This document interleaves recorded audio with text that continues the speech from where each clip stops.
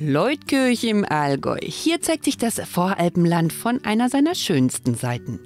Und auf dem Areal eines ehemaligen Sägewerkes entsteht ein neues Stadtquartier in einer Hybridbauweise mit Holz. In den sogenannten Storchengärten entstehen 450 Wohneinheiten nach dem KfW 55 Standard mit Fernwärmekonzept für Biogas und Holzhackschnitzel.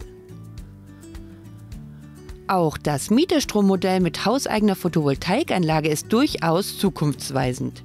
Mittendrin fällt auf, eine riesige Dachterrasse, 60 Quadratmeter sonnigster Süden. Und genau dort starten wir heute. Denn Frau Schmidt-Kube zog hier vor einem Jahr ein. Mit 76 Jahren hat sie sich für ein modernes Penthouse entschieden.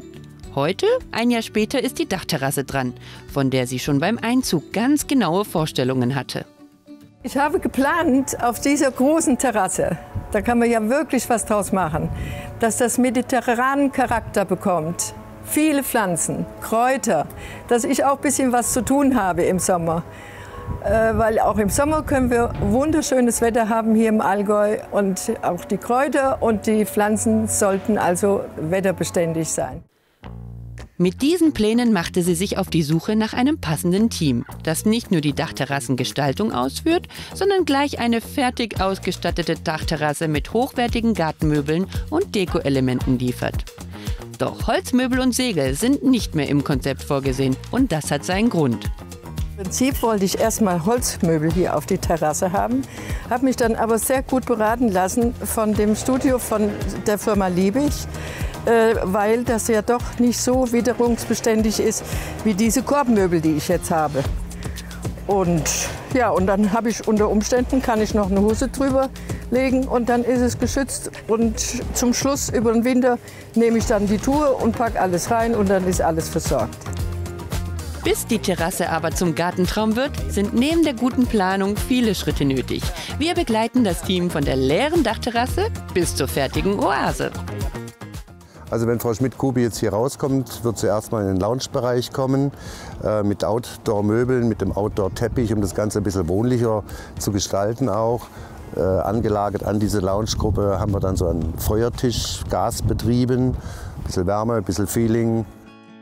Einige Terrassenplatten wurden entfernt, um runde Kunstrasenflächen zu schaffen. Lange Zeit verpönt, kommt er jetzt wieder in Trend. Gerade für den Balkon oder Terrasse hat der Kunstrasen einige Vorteile. Und vor allem sieht er mittlerweile täuschend echt aus und es muss kein Bodenaufbau für die Wurzeln geschaffen werden. Zudem fühlt er sich auch barfuß fast so an wie echtes Gras. Und der Rasenteppich muss nicht gemäht werden.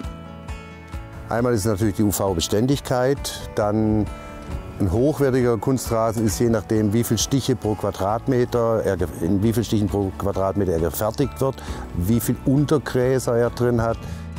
Kunstrasen ist in der Regel als Rollenware erhältlich. Und jetzt geht's auch schon ans Verlegen.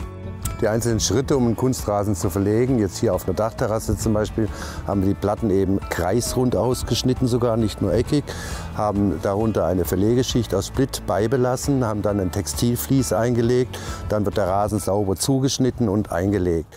Beim Verlegen wird zwischen unverfüllten und verfüllten Kunstrasen unterschieden. Hier auf der Dachterrasse wird verfüllt. Nach dem Verlegen wird feiner Sand zwischen die Halme gefegt, was sie aufstellt und gleichzeitig stabilisiert. So bleibt die Matte auch bei stärkeren Windböen liegen. Schicker Eyecatcher auch der Brunnen. Er ist quadratisch modern und verleiht dem Garten neben dem beruhigenden Plätschern des fließenden Wassers auch ein stylisches Ambiente. Hierfür wird das benötigte Kabel unter den Terrassenplatten verlegt. Und der Brunnen hat auch ein paar besondere Highlights. Das Besondere an dem Brunnen ist im Grunde ja ein formales Wasserelement mit einer ruhigen, äh, fließenden Wasseroberfläche. Wir haben abends noch ein Licht, was man zuschalten kann. Ähm, ja, im Grunde ein ganz ruhiges Element, was auch natürlich die Spiegelung vom, vom Licht und den Wolken da irgendwo wieder im, im Wasser darstellt. Und darauf freut sich die rüstige Rentnerin besonders, den Feuertisch. Ja, ich freue mich als allererstes hier zu sitzen, abends. Und wenn es kalt wird, habe ich einen wunderschönen Feuertisch, Und äh, daneben ist so ein Tisch, wo die Gasflasche versteckt ist. Und dann kann ich mir das anmachen. Das wird auch niemanden stören von wegen Holz und Gerüche und Funken und Flammen. Und dann kann ich das anmachen. Und wenn ich möchte, könnte ich sogar grillen da drauf. Um Privatsphäre zu schaffen, werden einige Solitärgewächse als Sichtschutz gesetzt.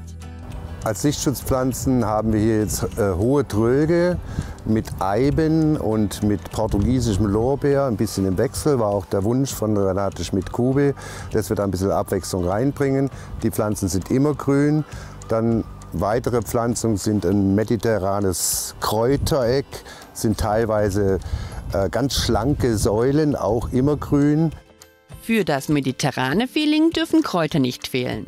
Thymian, Salbei, Zitronenmelisse haben ihren Platz in Pflanztrögen gefunden. Also diese vielen Kräuter habe ich aus dem Grunde auch angepflanzt. Die hatte ich auch früher in meinem großen Garten. Natürlich musste das hier auf die Terrasse auch, weil ich sehr, sehr gerne koche. Und wenn meine Kinder da sind und auch für mich natürlich alleine auch, es geht nichts über ein, ein, frisches Kräutlein, werde ich das sehr, sehr gerne benutzen und kann immer wieder neue pflanzen. Nach wenigen Tagen ist die Dachterrasse endlich wohnlich und nahezu perfekt eingerichtet. Doch ein Manko gibt es, was bei der Errichtung des Gebäudes nicht von vornherein bedacht wurde. Also ich hätte auf jeden Fall anders gemacht. Äh, ich habe leider keinen Wasseranschluss hier auf der Terrasse. Also muss ich Gießkannen schleppen.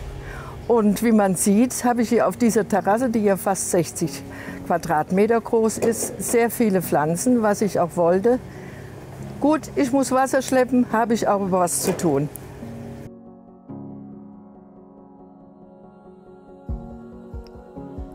Dachterrasse vor einem Jahr noch komplett leer und ungemütlich, ist sie in diesem Frühjahr zu einer tollen mediterranen Gartenoase geworden. Hier lässt sich der Ruhestand auch wirklich in Ruhe genießen.